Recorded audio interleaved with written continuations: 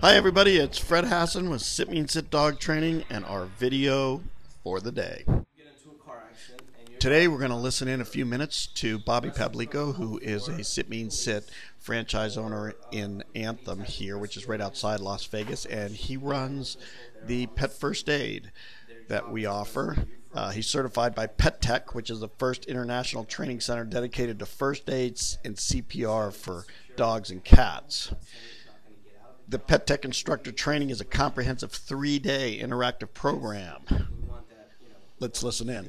First thing I said we're going over is P, and that's protect your pet, people, and yourself. You always approach your pet in situation always with caution. That's common. Um, the weather is uh, we're more susceptible to heat, heat stroke, heat exhaustion. Okay, whereas maybe on the East Coast you're looking at, at, at something different. You know, cold, hypothermia.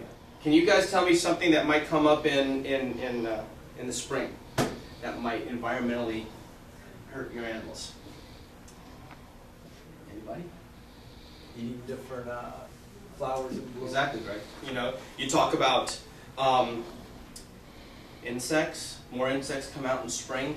All right, and I'm going to show you when we insect bites, a little what to do. Now in fall, fall is the biggest time of the year environmentally because what we call it is HBC, hit by car. Okay?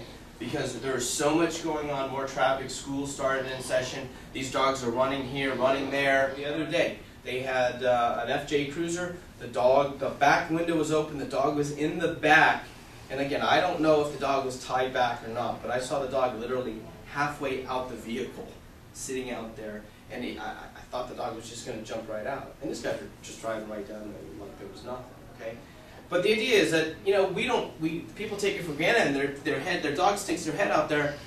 Something flies by that they're not paying, like a stone or a rock. You know, we get it on our windshields. You know, even a bug hits that pupil of that dog's eye. Guess what? You got problems.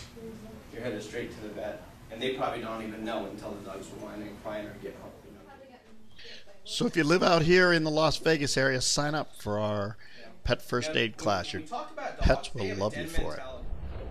So, until tomorrow, sit means sit.